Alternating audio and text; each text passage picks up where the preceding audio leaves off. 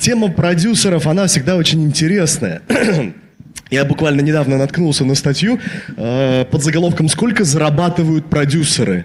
И там было написано, там, киноконцертная индустрия, там, миллион долларов, э, какая-то звукозапись, там, 100 миллионов долларов. О, вот мне тут сказали, что я разыграю Губана за лучший вопрос. Это фигурка одного из персонажей игры Pixel Wars, вот он называется Губан. Отлично, значит, у вас будет больше мотивации задавать интересные вопросы. Так вот, а, я посмотрел статистику, сколько же зарабатывают разные продюсеры. Там один миллион рублей, другой миллион долларов. И такой в конце, игровой продюсер стоит тысяч рублей. Думаю, ну ладно, окей, если что-то еще. Потом, продюсер новостей, 40 тысяч рублей. Думаю, о, хорошо, есть кто-то, кто зарабатывает меньше, чем в геймдеве. Замечательно, не так обидно.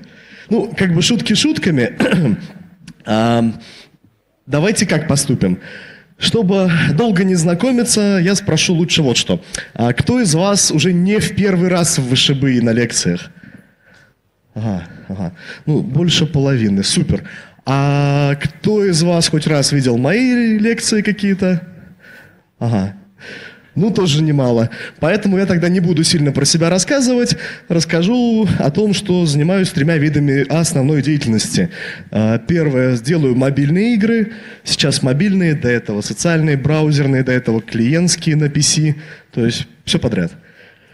А, мы с Вячеславом работаем здесь в ШБИ в качестве преподавателей в том числе, вот, и э, делаем образование. А еще недавно я начал делать настолочку. Я понимаю, что это не очень выгодно, что это не бизнес, ну просто хочется, вот почему нет, могу сделать. И хочу сделать классическую фантазийную, где все хорошо, где есть чернокнижники, которые режут себе руки, приносят всех в жертву и заливают кровью. По-моему, будет милота. Итак, приступим к основной теме. Продюсер – замечательный человек, который заставляет людей работать, то есть практически приносит всем боль, страдания и унижения. Что же делает этот продюсер? Ну, на самом деле, тезис очень простой. Это человек, который достигает цели проекта. Все. Чаще всего цель проекта – это коммерческий успех. Ну, вот так сложилось, да, если мы делаем игру, мы хотим, чтобы она окупилась, чтобы мы вложенные нами туда деньги вернулись как минимум, чтобы мы заработали. Либо есть там, если это начинающие разработчики, мы хотим научиться или еще какие-то цели. Или, не знаю, сделать проект для портфолио. Цели бывают разные. Так вот, чем же оперирует наш дорогой и уважаемый продюсер? А, у него есть ресурсы. Ресурсы – это в первую очередь мы, люди, то есть наше время, да? Не сами по себе мы, а то время, которое мы инвестируем в проект. А, это деньги, на которые продюсер нанимает людей, организует работу и все остальное. И продюсер играет в стратегию. Тут я всегда вспоминаю фразу известного геймдизайнера Сида Мейера, который говорил, что любая игра – это последовательность интересных выборов – так вот, работа продюсера – это практически стратегическая игра. Вы все время делаете выборы, чаще всего неправильные, чаще всего вы проваливаетесь, но это не страшно. Продюсеру гораздо важнее двигаться вперед и принимать решения, пусть даже не всегда оптимальные, чем долго-долго стоять на месте и выбирать. Соответственно, продюсер несет ответственность за свою работу и должен обладать определенным кругом возможностей. Это еще одна из проблем индустрии – ну, не только игровой в целом, да, в разных индустриях. Если человеку дают ответственность, с него требуют, но не всегда ему дают возможности того, чтобы он все это взял и реализовал. Такой, ну, ты все сделай, ты все организуй, но мы тебе ничего не дадим при этом. Такое, к сожалению, тоже бывает. Есть еще такая позиция, как проект-менеджер, тоже один из руководителей. То есть есть э, руководитель проекта, есть руководитель продукта. И просто чтобы у нас была единая терминология, немножко расскажу, чем они отличаются. А, цель продюсера – это, как мы говорили, чтобы проект ваш, продукт достиг результата. Игра была выпущена, все было хорошо, мы заработали денег. Поэтому в некотором плане продюсер человек жестокий и жесткий. Он готов сжигать все на своем пути, тратить любые ресурсы. Ну, ему нужно достичь цели, окей, он будет уничтожать и достигать этой цели любой ценой. С другой стороны, как же сбалансировать это? Есть проект-менеджер, человек, который выстраивает процессы, тот, который управляет командой. Во многих компаниях принята такая методология, что продюсер не является непосредственным руководителем всей команды. Это хорошая методология, когда под ним находится проект-менеджер, PM, он подчиняется продюсеру, а PM уже подчиняются все лиды, лидам э, разработчики, геймдизайнеры, артисты и так далее. Это хорошо тем, что продюсер не сжигает людей. Потому что у многих продюсеров, ну, как бы дай только волю, и мы все будем кранчить всю ночь. Потому что он сам человек увлеченный, он сам хочет сидеть всю ночь работать. Ну, как бы я вот хочу работать, да, но это не значит, что все другие хотят делать то же самое.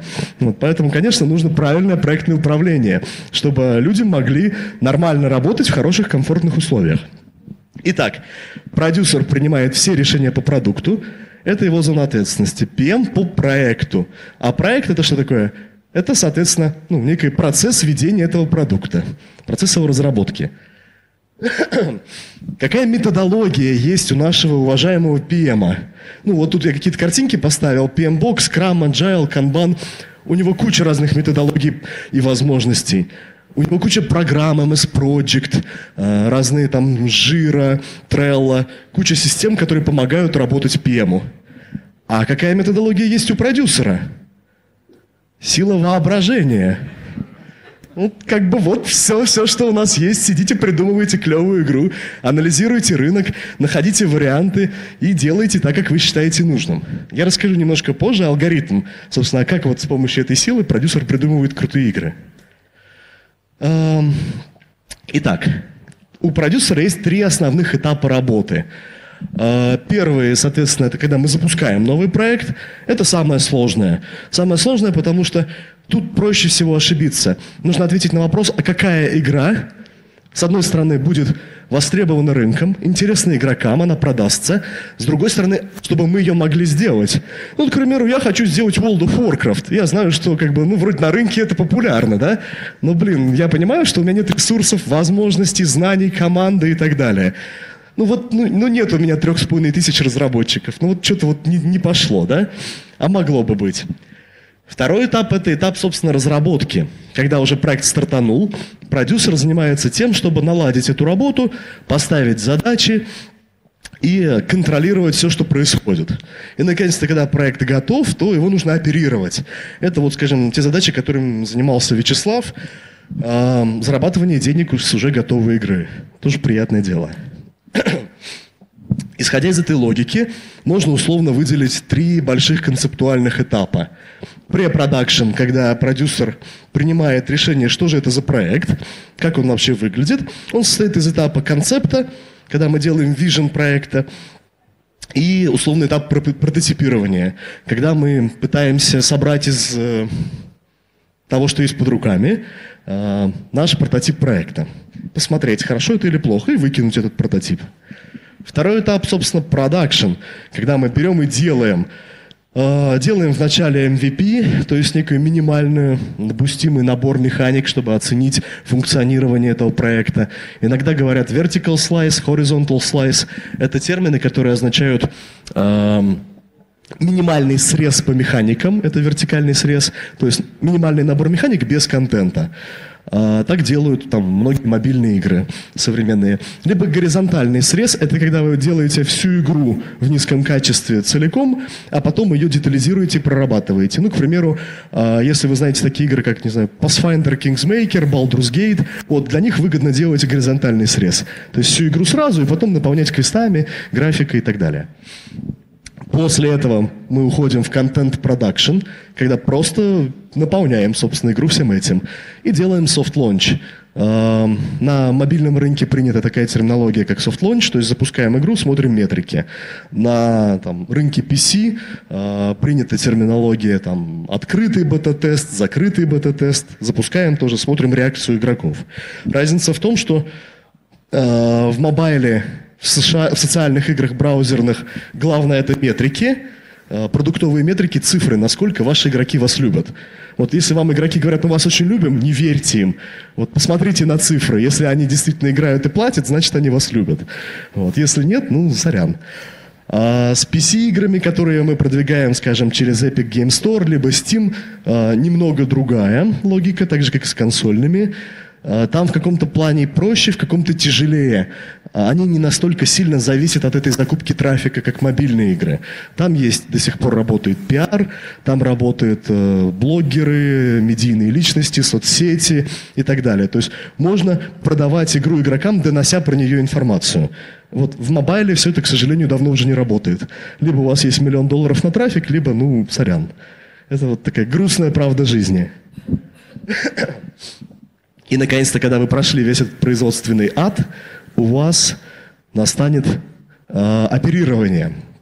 Какие же задачи делает продюсер разработки для того, чтобы дойти до этого оперирования? Э, во-первых, это описать, собственно, вижен продукта, сформировать все требования к нему, то есть, ну, некие условия, как сделать этот проект. Продюсер также является человеком, которого мы называем драйвером, ну, то есть проще, а вот оно мне надо, вот когда этот вопрос задается, вот продюсеру оно всегда надо. То есть это тот, кто является последним конечным человеком, принимающим все решения. Недаром я говорил вначале про разницу между продюсером и PM. А, были случаи, с которыми я, вот, собственно, в своей практике сталкивался, когда продюсер руководил командой напрямую. И если он видел, что люди работают недостаточно эффективно, ему было просто, скажем, этих людей убрать из компании, взять и уволить. Э, но так как он руководит одним проектом, он не видит, скажем, ситуацию по всей компании. Ему некогда просто это смотреть. Поэтому иногда гораздо более эффективно, чтобы все вот эти процессы контролировали так называемые функциональные руководители, э, либо то есть директора отделов и департаментов, либо проект-менеджеры, которые не позволяют продюсеру, собственно, злоупотреблять людьми. Но мы должны понимать, что ответственность все равно несет продюсер – и как бы он не просто так хочет кого-то заменить или кого-то нанять. Дай ему волю, он наймет, по-моему, 200 тысяч человек, и все будут работать. Он хочет, чтобы это все достигло цели. Поэтому он придумывает те самые задачи. Вот я написал, скажем, фичи-листы, как некие списки задач, глобальное описание фичей, что с этим делать. Продюсер производит приемки, то есть команда по его feature list у сделала что-то и показывает ему build. Он этот build смотрит и говорит, все не очень круто. Вот, идите переделывайте. Ну, чаще всего именно так. А, конечно, иногда бывают ситуации, когда продюсер доволен, и build сразу идет на production, но это скорее редкость. Ну и, наконец-то, продюсер контролирует всегда а, те самые продуктовые метрики, то есть удержание, монетизацию, все, что с этим связано, и смотрит аналитику. Ну, это уже больше к этапу, когда проект запускается. Soft launch и дальше. Соответственно, когда проект запускается, настает этап оперирования. То есть мы выходим в релиз, а, поддерживаем проект контентом, развиваем, делаем все круто, смотрим слав... рекламу славиной игры Game Dev Simulator, вот за что, надеюсь, мне Слава доплатит. Вот иначе зачем я это сюда вставил, просто непонятно. Игра занимается своей контентной поддержкой, и рано или поздно все игры уходят в небытие.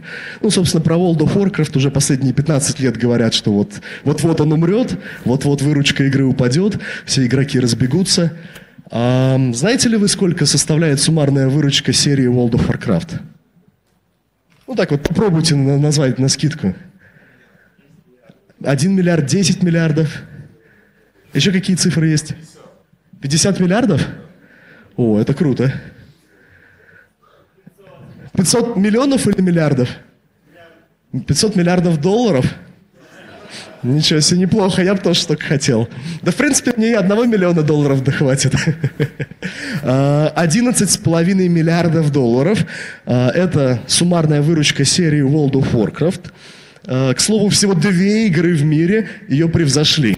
Это Space Invaders, игра 71 года для аркадных автоматов, и Pac-Man, японская игра, которая заработала, соответственно, 12 и 13 миллиардов. То есть всем бы играм умирать вот так вот в мучениях 15 лет. Вот. Ну, надеюсь, мы когда-нибудь тоже что-то такое же сделаем. Поэтому этап заморозки и закрытия проектов это ну, не для всех. Чем же занимается тот самый продюсер оперирования? И почему это может быть другой человек? Не обязательно тот же человек, который разрабатывал, не обязательно он будет продюсировать проект на этапе оперирования.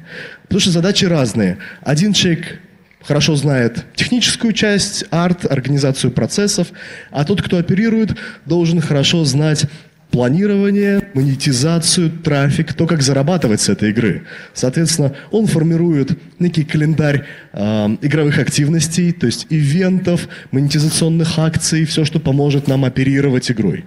Оперировать значит, ну, буквально зарабатывать деньги с игры, то есть вести эту игру дальше после релиза. Э, он знает, соответственно, как этот проект должен развиваться, какова его конечная цель, к каким финансовым показателям он может прийти. Э, и тут опять есть некая такая порочная немножко инициатива, продюсеру могут прийти и сказать, ага, чувак, ты в прошлом месяце сделал нам хорошую выручку, а давай в этом на 30% больше сделаем. Он такой, ну ладно, окей, что бы нет. Добавляет больше монетизации, больше акций, все запускает, ивенты идут, на 30% больше выручки сделал, молодец. следующий месяц его руководство смотрит, ага, он справился, ну, а давай ты еще на 30% больше выручки сделаешь. Он говорит, ну, как бы вы знаете, если мы так сделаем, игроки начнут уходить, у нас ухудшится ретеншн. Ему говорят, да ладно, не уйдут никуда, давай, делай. Ну, и так через 3-4 месяца выручка проекта почему-то начинает падать. Ему говорят, да ты херовый продюсер, ты же не умеешь ничего делать. Что же вот у тебя раньше росло, а теперь все падает. Вот, к сожалению, эта практика практически повсеместно у нас бывает. К чему я это говорю? А, к тому, что продюсер – это человек с остальными нервами.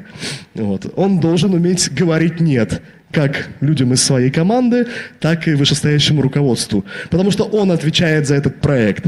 Не его сотрудники в той степени, как он, не его руководители, с него потом спросят. Поэтому он должен говорить, ну вот, окей, если вы настаиваете, вы должны понимать, что за вашим решением следует, скажем, провал всего проекта. Ну, как бы мы заработаем в этом месяце на 30% больше но на следующем мы потеряем 50%. Вы к этому готовы? Если да, конечно, давайте я запущу, и проект умрет. Почему бы нет?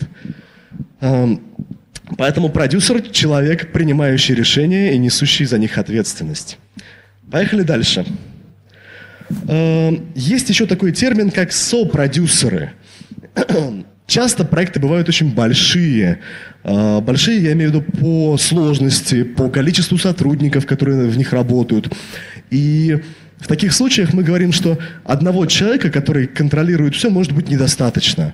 Говорят, что бывает, скажем, сопродюсер по технической части, сопродюсер по оперированию, там, сопродюсер по геймдизайну или по арту. То есть люди, которые берут на себя часть функционала этого самого продюсера и потом отчитываются перед неким главным там, генеральным продюсером, глобал продюсером и так далее.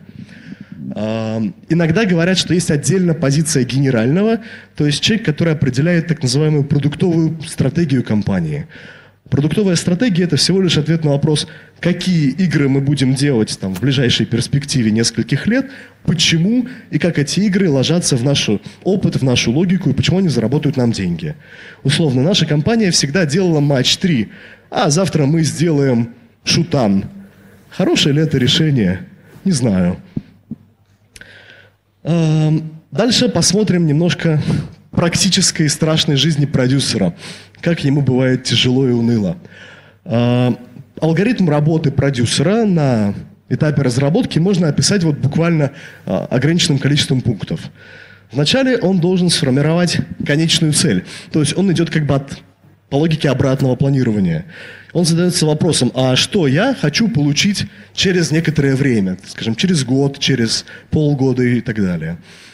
К примеру, он отвечает на этот вопрос. Я хочу получить игру, которая будет входить в топ-200 американского там, рынка гроссинг, которая будет зарабатывать вот столько-то, иметь такую-то аудиторию, нацеленную на такую-то нишу. То есть максимально подробно отвечает. А, ответ «я хочу заработать денег» — это вообще фигня. Вот дайте конкретные цифры. Я хочу, чтобы у игры было столько-то людей. Или я хочу, чтобы игра попала туда-то. Понятно, что все равно на практике все будет не так. Все эти цифры и прогнозы будут нарушены. Но если вы как бы изначально говорите себе «я просто хочу что-то абстрактное», то не очень понятно, как идти к этому абстрактному. Как бы вы немножко усложняете этим самым себе жизнь. Чем больше конкретики, тем будет потом проще. Вы прорабатываете сроки достижения цели. И тут сроки бывают э, желаемые, а бывают настоящие. И чем они отличаются? Желаемые сроки, вы говорите, вот у нашей компании осталось, к примеру, не знаю, 250 тысяч евро. Наша команда в месяц стоит там, 50 тысяч евро. Значит, мы просуществуем еще полгода. Ну, приблизительно, да? Соответственно, за полгода мы должны успеть сделать игру. Вот вам появляются некие желаемые сроки. Но это вовсе не значит, что ваши сотрудники за полгода реально сумеют эту игру сделать. Тем более запустить на рынок, потом начать с нее зарабатывать и так далее. Есть какие-то обстоятельства, почему продюсер хочет получить игру в определенный момент. К примеру, открыто маркетинговое окно, так называемое. Есть разные ниши. Какое-то время делать матч-3 игры было очень выгодно. Потом все начали их делать, и попасть в этот рынок стало очень тяжело. Потом игры надоели аудитории, и попасть туда не имело смысла. И компания King перезапускает эту логику, делает матч 3 снова популярными, и снова все туда ломанулись. И мы говорим, открылось маркетинговое окно. Если вы заходите туда первым, вторым, третьим, вы молодцы. Если вы заходите туда сотым, ну, как бы нет, вот, вот так не работает. Э, есть известные байки про Красный океан и Голубой океан.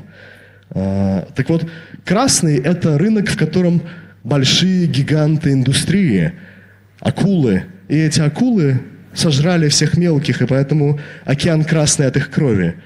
И есть голубой океан, где еще никого нет, где водичка чистая, то самое открытое маркетинговое окно. Вы туда приплываете и собираете себе все сливки. Но вот придумать эту самую нишу, понять, а что же нужно вашей аудитории, это супер сложно. Очень часто это бывает случайно. То есть, когда люди выпускают какой-то продукт, и они даже вначале не поняли, что они открыли новую нишу. Но кто-то может удержать этот успех, а кто-то нет. Соответственно, следующий пункт – это видение. Пункт 3. Vision или там концепт продукта – это ответ на все ключевые вопросы. Кто ваша целевая аудитория, почему она будет у вас играть, как вы до нее достучитесь, а, какие фичи в продукте, какой маркетинг в продукте, а, почему вообще эта игра кому-то будет интересна, как она будет зарабатывать деньги. То есть это максимально подробный, но при этом простой план этого продукта. Некий документ, который базово ответит на все вопросы. А, как писать вижен, я думаю, это прям тема отдельного рассказа. Дальше мы этот вижен или концепт превращаем в фичи-лист – то есть в набор конкретных механик, которые должна реализовать команда. И PM, как руководитель этой разработки, получает этот фичи-лист и начинает притворять его в жизнь. То есть он планирует, ставит какие-то сроки, итерации и так далее. И оценивает, собственно, наличие у нас ресурсов э, и рисков. Ресурсы – это то самое время наших сотрудников. И вот тут PM говорит, я посмотрел твой фичи-лист, мы будем делать твою игру 4,5 года. А продюсер такой, нет, нет, стопе, подождите, мы же про полгода говорили, какой четыре с половиной. ПМ говорит, ну вот, вот я посчитал, вот у меня есть там проект-менеджер, не знаю, там MS Project у меня есть, я построил диаграмму Ганта, и все вот так получилось. Конечно, продюсер может надавить и сказать, нет, делаем быстрее, PM, конечно, закладывал риски на то, что все заболеют, уйдут в отпуск, и что-то он действительно может ускорить. Но игра, которая должна делаться 4,5 года, за полгода, скорее всего, не сделается. Ну, что-то мне так вот подсказывает, да, я, конечно, могу ошибаться. Вот. Тем не менее, тут происходит настоящий ответ продюсера на вопрос, а делаем мы это или нет. Вот все до этого, представьте, как много пунктов. Это был, условно, некий pre-production. И только тут сейчас продюсер понимает, блин, куда же я попал? И должен принять ответственное решение, идем дальше или не идем. Или делаем что-то другое. И тратим еще кучу времени на pre-production. После этого, если мы сказали все-таки окей, мы понимаем все риски, мы делаем обратное планирование всех этапов разработки. То есть PM говорит, у нас будет столько-то итераций, вот feature list разбитый по этим итерациям, в конце каждой мы получаем вот такие-то результаты, тут будет build, тут будет launch, делает полный план, roadmap, все выглядит офигенно круто, ничего на практике не соблюдается. Через два года вы получите другую игру в другие сроки, но зато все выглядит правильно. Вот. К сожалению, у нас э, проектное управление, несмотря на то, что это очень важная при разработке игр э, дисциплина, к сожалению, она не может физически дать правильного, стопроцентного ответа, когда будет готов продукт. Слишком сложная и комплексная разработка игры. Ну и под готовое уже понимание сколько нам работать, PM формирует команду. Он набирает лидов, лиды набирают себе сотрудников. Ну, это в идеальном мире так происходит, да? На практике бывает, вот у нас есть Вася, Вася будет за всех работать. Вот, как бы тоже такое вот, ну, я говорю про хорошие компании, где можно нанять много людей, обеспечить их белыми зарплатами и все прочее. И когда все это есть, мы запускаем нашу разработку. Дальше я вам покажу небольшой пример. Я стараюсь быстрее, Вячеслав сказал, что у меня только полчаса. А, а еще хочу оставить вам время на вопросы. Я вам покажу пример из жизни известных продюсеров. Ну, на самом деле, они не только продюсеры, они еще крутые геймдизайнеры, которые стали продюсерами. А, покажу для того, чтобы вы понимали, ну, какой путь нужно проделать, либо какими навыками нужно обладать, чтобы вы сами могли занять соответствующие позиции. А, как правильно произносить фамилию этого человека, я не знаю. А, Википедия говорит Молиньо, а, некоторые источники говорят Мулины. В общем, по-разному. Этот замечательный человек, а, как его называют, величайший лгун игровой индустрии, а, выпустил огромное количество крутых игр. Фактически это автор идеи стратегической симуляции Бога. То есть когда вы управляете постройками, юнитами и всем остальным. Почему его называют лжецом? На самом деле это ничего общего с правдой не имеет. А, просто этот человек любит рассказывать о том, что он хочет сделать. А как мы говорили раньше, на практике ничего не получится. Поэтому он поделился тем, как он хочет. Все вышло по-другому. И люди такие, блин, ну ты же говорил, будет вот так. Вот. Просто он слишком честный. Это один из моих любимых геймдизайнеров, э, автор вселенной Warcraft, Крис Мэтсон. Э, он начал свою карьеру со сценариста. Э, очень интересный человек. Он пришел в компанию Silicon Synapse, которая потом стала Blizzard, и говорит, ну, что-то я хочу порисовать. Они такие, ну ладно, пошли к нам художникам. Ну, так мы пошли. И нарисовал Лигу Справедливости блин, чувак, а ты круто пишешь сценарий, а пойдешь ты вот нам еще сценарий писать? Он такой, да ладно, давайте. Вот у нас есть Warcraft 1, что-то у него сценарий не очень. Перепишешь? Да ладно, перепишу. Переписал. Ну, блин, прикольно получилось. А давай ты будешь у нас креативным директором. Он такой, а давайте, что бы нет. И за много лет, по-моему, 24 или 25 лет проработал он в Blizzard. А, он стал одним из авторов и сценаристов, собственно, креативным директором всех их популярных игр. Вот. Это чувак, которого я очень уважаю. Другой известный продюсер Джон Ван Канагем э, выпустил более 250 игр. Мало кому это известно. Э, он начинал как программист, и он очень любил ездить по Калифорнии и продавать свои дискеты – не все их хотели покупать, но он очень старался. Он выпустил огромное количество никому не нужных игр, пока не понял, что Might and Magic, King, King's Bounty — это его призвание, и тогда он выпустил много игр, которые были всем нужны. Кажется, всех этих людей объединяет то, что они основывали свои студии. Ну, за исключением, наверное, Криса Мэтсона, который вошел, условно, в состав топ-менеджера Blizzard, но не основывал ее сам. Э, Сид Мейер – это вообще безумно интересный человек, э, которому принадлежит огромное количество цитат. Он учился вначале на историка, видимо, поэтому он и сделал цивилизацию. Потом он стал доктором наук в информатике, то есть человек про науку и образование. И в какой-то момент он понял, что его навыки будут интересны в разработке игр. Эм, кажется, вот я не помню про кого именно, про него или про Тода Говарда, была история, что первую игру, которую он сделал, купила всего два человека. Один из них его мама. Э, забыл, кто именно, но это можно почитать. Так вот, Сид Мейер создал три компании. Он создает одну компанию, продает ее.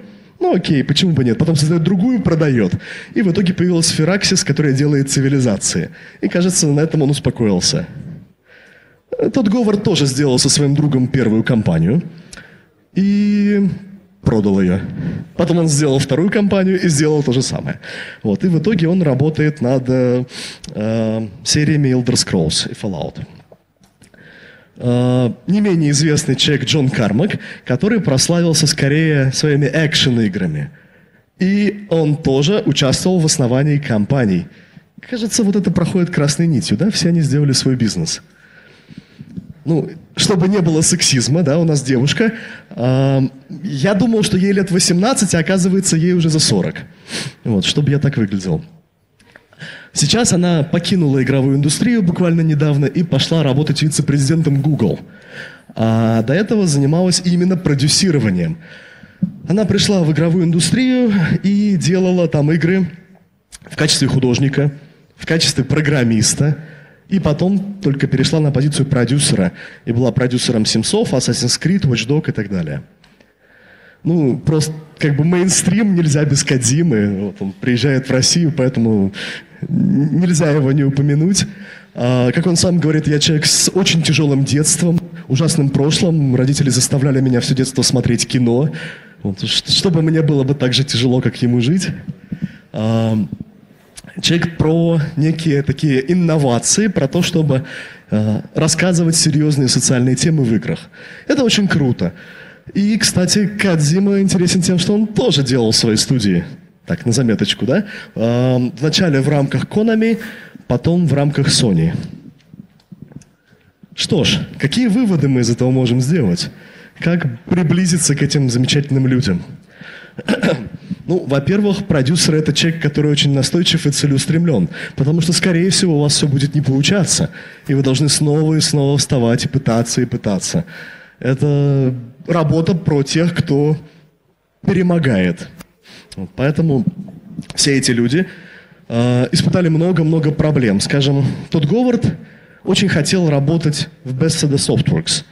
И когда он учился просто в школе и проходил мимо их офиса, он все время говорил, пустите меня на работу. Ему говорили, ты школьник, мы не возьмем тебя. А что нужно? Получи высшее образование. Окей, отучился в колледже пустите меня на работу, я же живу в соседнем доме, я мимо вас в колледж каждый день хожу. Они говорят, не-не, подожди, вот ты как бы научился, но еще мало, поучись еще, ты недостоин. Он пошел поработал в другую компанию, набрался опыта, говорит, ну теперь-то мне можно? Ну ладно, теперь можно. Вот, почему бы нет? А, я сам подавал резюме, когда начинал работать в игровой индустрии, в Невал на программиста. И мне сказали, не, чувак, ты не очень программист. Ну, как бы не будем тебя брать. Потом я подал на геймдизайнера. Мне сказали, ну, геймдизайнер ты тоже не очень. Потом я подал на продюсера. А, ну, продюсер ты нормальный, ну, берем тебя сразу. Вот, я логику не понял, но вот примерно так я попал в геймдев. Э, тогда это уже был Nival э, в рамках Mail.ru. То есть, когда я начинал туда писать, он еще был самостоятельным Nival ом, потом стал частью Mail а. Э, все эти люди, они много учились. Кто-то там в высшем образовании, кто-то на своих ошибках, делал собственные компании, кто-то там делал собственные игры и так далее. Они все делают игры для игроков. Сид Мейер, которому очень принадлежит много академических цитат. А, он всегда говорил, что если вы делаете игру своей мечты, в которую вы сами будете играть, есть риск, что вы останетесь ее единственным игроком. И это будет не нужно всей вашей аудитории. С другой стороны, есть логика, что если игра не нравится даже вам, то почему она должна понравиться хоть кому-то еще? Также ему принадлежит интересная цитата «умножай на два, либо дели пополам». А, он имел в виду, что геймдизайнеры должны работать крупными мазками. Если у вас юнит в игре слишком слабый, то постоянное прикручивание плюс 5%, минус 5% это долго. Поймите, вообще он интересен кому-то или нет. Просто удвоите его, посмотрите, это играется или не играется. Когда цивилизация показалась ему слишком нудной и скучной, он сказал, уменьшим карту вдвое, ускорим игру в два раза. И все пошло. Цивилизация стала более интересной. Эти люди, как и Вячеслав, любят свою работу. Они все много вкалывают. Ну вот продюсеры это про то, чтобы много работать. Ну, естественно, они все готовы ошибаться, вставать с колен и идти дальше. Ну и вкладывать даже свои собственные деньги. А, поэтому я прорекламирую вам учиться на курсах ВШБ, иначе Вячеслав больше меня сюда не пригласит. Да, я шучу, но в каждой шутке есть доля шутки. так вот, лучший способ стать продюсером, на самом деле, это действительно опыт, как и геймдизайнером. Чтобы получить опыт, вы можете узнать некий набор академических знаний. Это круто, это очень сильно вас буснет и поможет. Но вам в любом случае нужно как-то на практике эти знания отработать. То есть вам нужно попробовать сделать свою игру, как инди-разработчику. Либо вам нужно попробовать устроиться в какую-то компанию, где вы сможете быстро получить опыт. Да? Вы сможете общаться с другими людьми, видеть все их косяки, допускать собственные ошибки. По-моему, это мега круто. То есть вам платят зарплату, вы фейлитесь, как бы на чужих продуктах, за чужие деньги, получаете себе еще зарплату, вообще все замечательно. Нарабатываете опыт, блин, идеальная жизнь просто. Спасибо большим компаниям. А, мне в этом плане повезло, я попал в Mail в начале карьеры. А, Mail — это очень большая корпорация с большим количеством компаний внутри, и Кажется, я допустил все возможные ошибки, которые только можно было придумать. Сфейлил все, что только можно сфейлить. Вот, поэтому это мне помогло дальше работать круто. Соответственно, вам нужно всего лишь пять лет отработать, да? Казалось бы, фигня. А, это примеры наших выпускников. Я просто ставлю картиночки, люди, которые пошли работать в индустрию. А, ну, я несколько слайдиков покажу. Вот. Их на самом деле гораздо больше. То есть вряд ли вы можете претендовать на то, что после обучения, образования вы такие, я отучился, я крутой чувак, возьмите меня продюсером. Нет. Но помощь в трудоустройстве, да. То есть попасть в индустрию после обучения гораздо легче. Я отговорил, успел прям вот быстро, чтобы у вас остались вопросы. Так что спасибо, друзья, буду рад поотвечать.